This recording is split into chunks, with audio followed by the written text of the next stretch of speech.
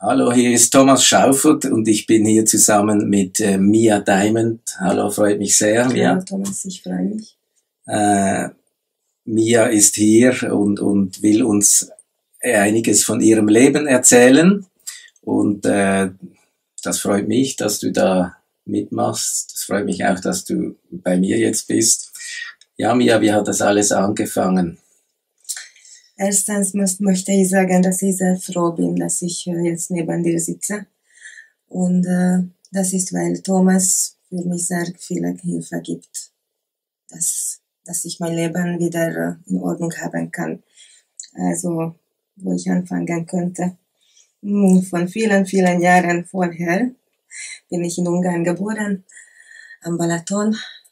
Und äh, mit äh, meiner zwei Geschwister und mit meiner Mutter habe ich äh, dort gelebt. Und es war nicht so eine schöne Zeit. Wir hatten schlechte Zeiten und schwere Zeiten. Und äh, ich war die Älteste in der Familie und ich habe mich entschieden, dass äh, so bald wie möglich werde ich äh, unser Leben besser machen. Und das meine ich natürlich finanziell. Mhm. Also, also es war mit dem Geld Balaton, das ist äh, ein wenig weg von Budapest, auf ja. dem Land, sehr ruhig. Es war sehr schwierig mit dem Geld dort auf dem Land, oder? Ähm, ja, und ich glaube, dass äh, das ist auch ein Problem gewesen, dass, äh, dass wir äh, alleine mit meiner Mutter gelebt haben. Also sie war die Einzige, die für uns äh, alles machen musste.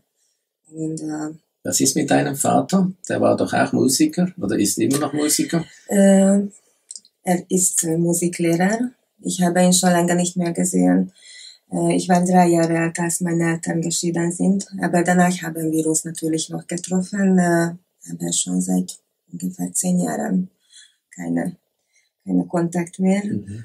Mm, ich hoffe, es kommt die Zeit, wann wir uns wieder treffen mhm. müssen. Mhm. Und dann alles wird gut sein. Okay, und dann so circa mit 18 Jahren hast du eine große Entscheidung getroffen, sehr viel Kraft aufgebracht. Hm. Erstens wollte ich auf jeden Fall arbeiten, damit ich meiner Familie helfen kann. Aber äh, diese große Kraft ist ein bisschen später gekommen. Hm.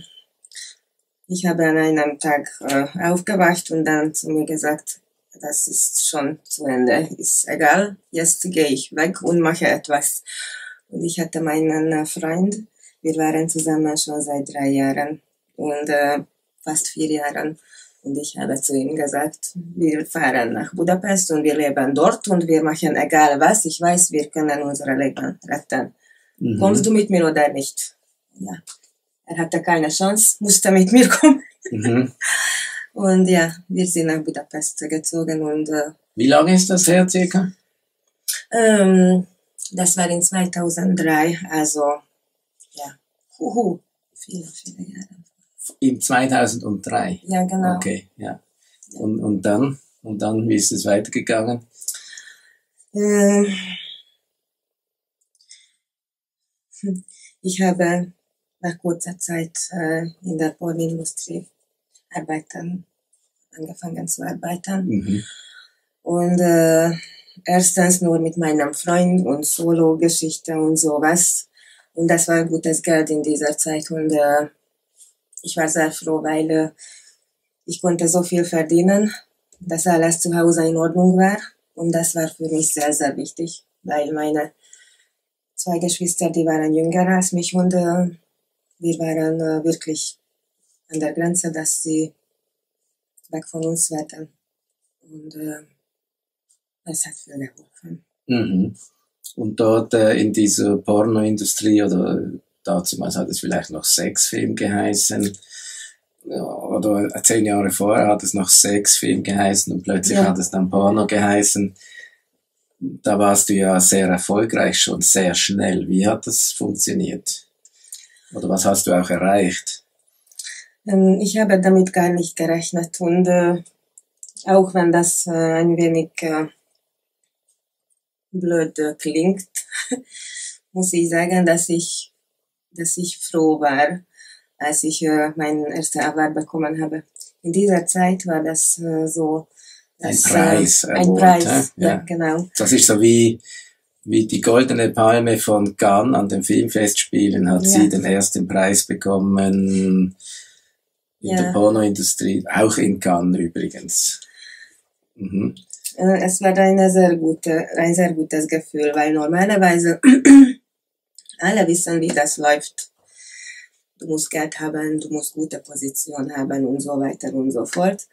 Und ich habe gar nicht damit gerechnet, dass ich sowas erreichen werde. Und äh, das hat mich dann äh, so fertig gemacht, Mhm. weil äh, das war für mich so eine schöne Sache, ein schönes Gefühl, dass ich diese Sache von den Menschen, von den Zuschauern, sagen wir mal so, bekommen habe, Mhm. ohne dass ich äh, etwas bezahlen oder sowas äh, machen sollte. Und deswegen, ja, das hat mich äh, dann weitergebracht, mehr Kraft gegeben. Ja, fast sieben Jahre lang habe ich Filme gedreht dann. Und in diesen sieben Jahren hast du ganz viele Preise bekommen. Ja, zehn. Ja. Okay. Und die sieben Jahre waren eigentlich zum Arbeiten für dich äh, nicht schlimm. Oder hast du schlimme Sachen erlebt? Oder war es eher so, es war Mhm. schön, toll? Äh, Ich muss sagen, ähm, als ich äh, beendet habe, das war äh, die richtige Zeit. Umsonst, ich war in Ordnung mit den Sachen. Also äh, zum Glück, äh, das ist überall so. Ich glaube, äh, wenn, wenn du berühmt bist oder sowas, dann nach einer Zeit, Gott sei Dank, kannst du auch sagen, mit wem du arbeiten möchtest oder was du akzeptierst oder was Mhm. nicht. Und das war eine große Hilfe. Mhm. Deswegen konnte ich auch so lange da, drin bleiben, weil ich konnte auch selbst entscheiden, Mhm. mit wem oder mit welcher Produktion ich Filme drehe. Und eben sieben Jahre ist vermutlich auch schon lang. Ja. Die meisten machen das wie lange? So, es hängt davon ab. Ein, zwei Jahre. Es gibt welche, die lange drin bleiben, Ja. aber so lange nicht so viel, ja. Und wie viele Drogen waren da zum Beispiel im Spiel oder Sachen, wo du gedacht hast, dort schon gedacht hast, das ist irgendwie zu viel, zu komisch, weil du bist ja ein Herzensmensch. Und hast du dort irgendwas, hast du dort erlebt, hast du dort irgendwie gespürt, ah, ich wollte, wollte gerne etwas verändern oder? Ja, äh, nach einer Zeit ist das gekommen und ich wollte auch etwas selbst machen, selbst äh, eigene Geschäft machen oder Business. Hm, weißt du, nach einer Zeit, ich kann das nicht wirklich äh, sagen, warum ich das gefühlt habe, dass ich das fertig beenden ähm, muss, aber äh, es war einfach genug, als ich, hab, als ich das Gefühl hatte, dass ich mich total verliere als Mensch und als Robot gehen, gehen, machen, machen. Mhm. Und, und wenn du das nicht mehr mit Lust machst oder so, dann, äh, wenn das möglich ist, muss man verändern. Mhm. Und jetzt äh, bist du in dieser Veränderung. Ja, Veränderung ist äh, eine große Sache, schwere Sache und äh, ist nicht zu Ende. Mhm. Wir sind immer auf dem Weg und ich hoffe, dass, äh, dass alles gut laufen wird. Und, und, und, und ein großes Ereignis in deinem Leben war dein Sohn. ja, das Wann ist er gekommen? Ähm, ja, er, er ist äh, ein bisschen mehr als äh, vor drei Jahren äh, geboren. Und äh, ich bin die glücklichste Frau, muss ich zu sagen. Weil wirklich, äh, er ist mein Alles. Und äh, ich denke mir immer, äh, wenn das alles so passieren musste, oder auch noch schlimmer sein musste, aber ich bekomme ihn, dann war das wert. Mhm. Und da hat er auch etwas, auch natürlich Kraft gegeben und hat dich auch etwas gelehrt über die Liebe oder so. Plötzlich hast du etwas gespürt, was du vorher nie kanntest. Was war das für dich? Das war die richtige, wahre Liebe. Äh, clean. Ohne, ohne egal was, nur einfach dieses Gefühl, was wir normalerweise im Leben immer, okay, nicht immer, aber Minimum wissen äh, sollten. oder Minimum einmal erlebt haben sollten. Aber das, das gibt's nicht heutzutage. Und äh, von ihm habe ich das bekommen, wie mhm. das, wie das sich anfühlt, äh, glücklich zu sein, ohne dass jemand etwas denkt. Nur, nur weil du da bist.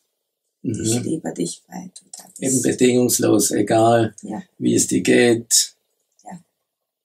ja. Und das ist ja dann auch das Thema, was uns zusammengebracht hat. Ähm, wie würdest du sagen, was können wir, was wollen wir den Menschen schenken? Mit unseren Erfahrungen. Was kannst du, was willst du den Menschen schenken mit deinen Erfahrungen? Ich möchte den Menschen dieses Gefühl schenken. Ich weiß, dass, dass es sich ein bisschen anders oder vielleicht auch lustig äh, anhört, aber das ist so. Ich habe das erfahren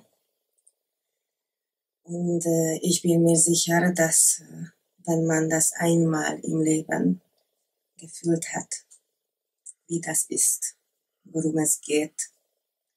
Danach wird alles ganz anders. Dann kennt man, wie man lieben muss, lieben kann, wie wir Liebe machen, Liebe bekommen und geben, nur damit wir am Leben sind. Mhm. Aber dazu braucht man kein Kind, sondern du hast das jetzt erlebt und gespürt und du kannst das auch den Menschen weitergeben, was es braucht. Also ich sage jetzt mal, du warst im Sex und kommst jetzt in die Liebe, also ich sage jetzt mal Sex machen und jetzt hast du erkannt und ich auch, es geht gar nicht um Sex, sondern Liebe leben. Das haben wir jetzt beide verstanden. Es hat lange gebraucht. und äh, ich glaube, das ist das, was du auch weitergeben kannst, oder? Also man, man braucht keine Kinder, um das zu erleben. Ja, stimmt. Ja, stimmt. Das geht nicht darum, dass wir auf jeden Fall Kinder haben müssen. Wir alle haben ein anderes Leben, anderer Lebenslauf. Ähm, aber eine sehr wichtige Sache ist, dass wir oft denken, dass äh, sexuelle Sachen die richtige Liebe bringen können. Es kann sein, aber das ist nur im Kopf. Und das ist nur, weil, äh, weil du das richtige Gefühl nicht kennst. Hm. Aber äh, das kann man auch äh, ganz schön äh, zusammenbringen und auch von, von den sechs Sachen zu die Lebesachen eine Erklärung finden, ohne Wörter noch dazu. Hm. Und ich bin mir sicher, dass wir das weitergeben können. Okay. Und was, äh, wie sieht dein Leben in Zukunft aus? Haus, Welt bereisen? Was wünschst du dir da für dich in deinem Leben?